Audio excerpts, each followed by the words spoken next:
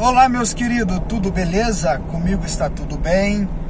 Estou indo na cidade vizinha, cidade de Nova Friburgo, assinar um contrato é, uma compra que eu fiz de uma moto, de um consórcio. E eu sempre costumo falar meu, aos meus vídeos, né? É muito importante nós pedirmos a Deus e quando nós pedimos a Deus e confiamos, lógico que tudo tem o seu tempo e o seu momento, né? Não é da noite para o dia que as coisas acontecem.